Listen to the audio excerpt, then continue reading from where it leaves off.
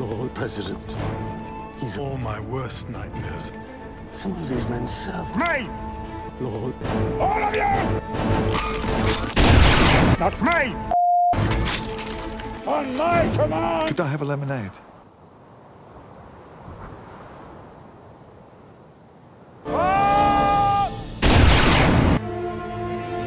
You missed. Ah! You missed. You did this to... Could I have a lemonade? What is it? Explain. There was a saying, sir, in the Time War. Just shut up, shut up, shut up.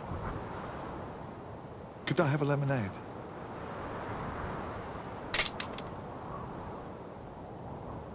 Idiot! Could I have a fucking lemonade? Mine!